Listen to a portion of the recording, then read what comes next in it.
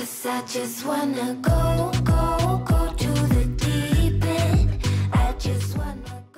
after a long time Honor is back जी हाँ India में उन्होंने अपने 2023 वाले मैजिक बुक सीरीज़ के लैपटॉप्स को लेके आ गया है। इसके बारे में आपको सारी जानकारी देंगे। 14 इंच है 16 इंच है और कुछ डिफरेंसेस है जो हम आपको एंड में वैसे बता देंगे। अब ये वाला हमारे पास जो आया है, ये 14 इंच का है और जहाँ पर बॉक्स में आपको एक 65 वॉट वाला अडेप्टर देखने को मिलता है। जी हाँ बॉक्स कंटेंट में लैपटॉप्स के ज़्यादा वैसे भी कुछ खास होते नहीं है। और आते सीधा हमारे लैपटॉप की तरफ़ आपको पूरा एल्यूमिनियम मेटल बॉडी में मिलता है। काफ़ी स्लिम है। अगर आप देखोगे, ये जो फ्लैप ये भी काफ़ी ज़्यादा पतला दुबला सा है और ये इसका जो वेट है वो 1.4 किलोग्राम्स का है तो काफ़ी लाइट वेट है इनफैक्ट अगर आप अपने पैरों पर रखकर या ऐसे हाथ में रखकर यूज़ करते हैं तो बिल्कुल भी अनकंफर्टेबल फील नहीं होता है। नीचे आपको यहाँ पर डुअल स्पीकर्स भी मिलते हैं। स्पीकर्स की क्वालिटी भी यहाँ पर अच्छी है। हमने कुछ गाने वगैरह लगाकर सुना था। लेफ़्ट में दोस्तों आपको टाइप सी पोर्ट है, उसके बाजू में टाइप ए पोर्ट है एच पोर्ट मिलता है। राइट साइड में एक और टाइप ए पोर्ट है three point five M jack दिया बट यहाँ पर माइक्रोस डिकट का स्लॉट मुझे नहीं दिखाई दिया।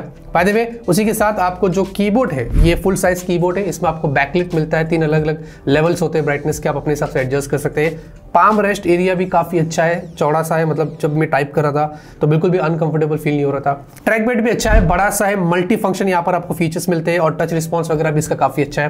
पावर बटन यहाँ पर जो दिया है, उसके अंदर आपको फिंगरप्रिंट स्कैनर भी मिलता है जी हाँ। और ये काफ़ी फास्ट और रिस्पॉन्सिव सिर्फ़ टच करते ही ये अनलॉक कर देता है, जो मुझे काफ़ी अच्छा लगा है। और सामने देखेंगे बेजल जो ऊपर के है, उसके बीच में आपको एक वेबकैम दिया ये एच डी है। तो अगर आपको वीडियो कॉल वगैरह करना है, दूसरे काम करना है तो ये आपको बहुत ज़्यादा हेल्प करेगा। अब डिस्प्ले दोस्तों, उसका काफ़ी इंप्रेसिव है 14 इंच का है काफ़ी कॉम्पैक्ट सा है और ये full H D resolution 1920 by 1200 resolution के साथ आपको मिलता है। ये एक एंटी ग्लेयर डिस्प्ले इसका फ़ायदा ये कि यहाँ पर ज़्यादा लाइट्स अगर ऊपर कहीं आपने लगा कर रखी है तो वो रिफ्लेक्शन यहाँ पर नहीं देगा और यही इसकी खासियत होती है। एस आर जी भी आपको 100% मिलता है। हमने वीडियोस वगैरह जब प्ले किया था तो कलर्स काफ़ी पंची थे। बींग एन आईपीएस डिस्प्ले मुझे इसके कलर्स यहाँ पर अच्छे लगे। आपको 300 निट्स की इसमें पीक ब्राइटनेस मिलती है। ब्राइटनेस डिसेंट है। अगर आप सामने से देखेंगे तो काफ़ी अच्छा लगेगा। एकदम अगर ऐसे कर देंगे तो थोड़ा डिसेंट हो जाता है। उसी के साथ आपको 88% स्क्रीन टू बॉडी रेशियो मिलता है। बेजल्स पर अगर आप गौर करते हैं, काफ़ी ज़्यादा कम है। लेफ़्ट और राइट पर तो 4.5 mm की साइज़ है बेजल्स की मतलब इतने कम है। और ये जब भी आप वीडियोस देखते हैं, दूसरे काम करते हैं तो एक्सपीरियंस बहुत अच्छा रहता है। वैसे आपको टी यू सर्टिफिकेशन भी यहाँ पर मिल जाता है आई प्रोटेक्शन का। तो अगर आप लॉन्ग टर्म भी इसका इस्तेमाल करते हैं तो आपकी आँखों में ज़्यादा पेन या ऐसा कोई इशू नहीं होने वाला है। परफॉर्मेंस की बात करते हैं, इसमें है आई फाइव ट्वेल्थ जनरेशन वाला सीपीयू ये एच सीरीज़ वाला है 12450H प्रीवियस जनरेशन से अगर कंपेयर करें तो ये आपको 30 परसेंट ज़्यादा परफॉर्मेंस देगा। आपको इंटेल की यूएचडी इंटीग्रेटेड ग्राफिक्स भी मिल जाती है। एट कोर्स 12 थ्रेड्स के साथ आपको ये सीपीयू मिलता है, जो कि मेरे ख्याल से सफिशियंट है। आपको एट जीबी की इसमें LP D D R four X RAM है और 512 जीबी की आपको इसमें SSD मिलती है। वैसे रैम स्टोरेज अपग्रेड होता, नहीं होता, इसके बारे में मुझे पता नहीं है, लेकिन इन्फॉर्मेशन मिलेगी तो मैं आपको डिस्क्रिप्शन में यहाँ पर अपडेट कर दूँगा। और उसी के साथ ये मल्टीटास्किंग एक्सपीरियंस की पहले बात करें, हमने काफ़ी सारे ऐप्स ओपन करके रखा था तो ये काफ़ी स्मूथ चलता है। मतलब लैक स्टटर वहाँ पर आपको नहीं मिलेगा। जनरली भी वैसे नहीं होता है, क्योंकि ट्वेल्थ जनरेशन काफ़ी पावरफुल चिपसेट होती है। हमने थोड़ा और इंटेंस टेस्ट करने के लिए इसमें एक एडिटिंग सॉफ्टवेयर डाला, उसको रेंडर वगैरह करके देखा, वो फास्ट चल रहा था। और उसी के बीच में एडिटिंग के बीच में ही हमने थोड़े वीडियोस वगैरह भी प्ले करके देखे। देखने के लिए कि ये हैंग होता है लैग होता है तो वैसा कुछ भी नहीं था। परफॉर्मेंस वहाँ पर अच्छी थी तो अगर आप normal day to day life के टास्क करते हैं मल्टीटास्किंग करते हैं, ये अच्छा परफॉर्म करेगा।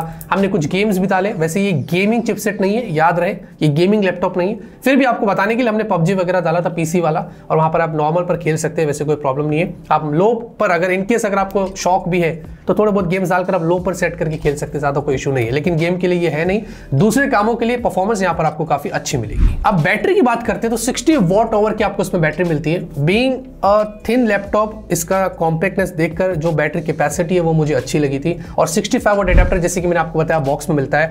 इसको चार्ज करने के लिए आधे घंटे में लगभग 45 परसेंट लगेगा और एक घंटे से थोड़ा ज़्यादा ये उसको फुल चार्ज करता है। अब ये आपको अप टू 12 आवर्स का बैकअप देगा। ऐसा कंपनी ने यहाँ पर क्लेम किया है। अ, मतलब अगर आप नॉर्मल यूज़ करते हैं मिक्सड यूज़ थोड़ा बहुत हैवी मिक्स भी करते हैं तो उतना आपको बैकअप मिल सकता है। गेमिंग करेंगे तो डेफिनेटली बैटरी बहुत जल्दी उतर जाएँगे और उसके लिए है भी नहीं। लेकिन मेरे अंदाजे से अगर आपको बोलूँ हमारे एक्सपीरियंस की बात करें तो सिक्स टू सेवन आवर्स का आपको बैकअप आराम से मिल जाएगा। अगर आप एक बार उसको चार्ज कर लिए और लेके चले गए तो सात छः सात घंटे तक तो आपको टेंशन लेने की ज़रूरत ही नहीं है इसको चार्ज करने के लिए। तो ये उतना हेल्प करेगा। ज़्यादातर इस प्राइस रेंज पर भी मैंने बहुत सारे ऐसे लैपटॉप्स देखा जो आई फाइव ट्वेल्व जनरेशन वाले वो सेवन टू एट आवर्स तक का ही बैकअप दे देते ये भी कुछ आपको वैसे ही हेल्प करता है।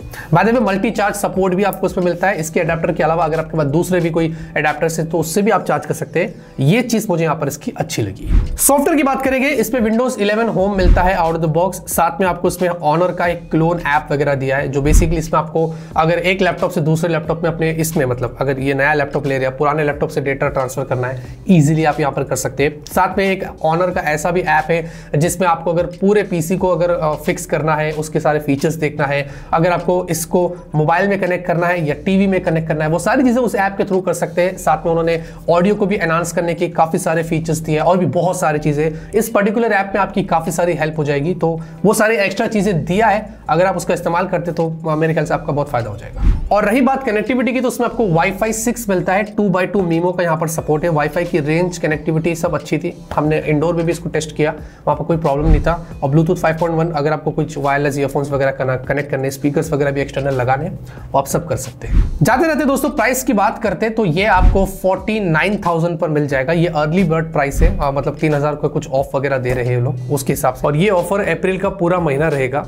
तब तक आपको ये 49,000 पर मिल जाएगा वरना इसकी जो एक्चुअल प्राइस है वो 52,000 की है यहाँ प्राइस थोड़ी बढ़ जाएगी। लेकिन उस प्राइस पर भी और अगर अंडर 50,000 पर भी आप इसको ले लेते हैं तो i5 12 ट्वेल्थ जनरेशन ये चिपसेट ना अच्छी है। और एंटी ग्लेयर आपको डिस्प्ले मिलता है कॉम्पैक्ट यहाँ पर लैपटॉप है सॉफ्टवेयर एक्सपीरियंस अच्छा है मतलब फास्ट परफॉर्म करता है। ओवरऑल यहाँ पर अगर आपकी बजट पचास हज़ार के नीचे है तो आपको ये भी एक ऐसा ऑप्शन मिलता है जिसको आप जाके जो वो चेकआउट कर सकते हैं। बाकी सारे इन्फॉर्मेशन डिस्क्रिप्शन में मैंने दिया हो। आप जाइए, देखिए, अगर आपको पसंद आता, नहीं पसंद आता, वो आपके ऊपर है। लाइक करिए सपोर्ट करिए सब्सक्राइब करके रखिए। तब तक के लिए ऑलवेज कीप स्माइलिंग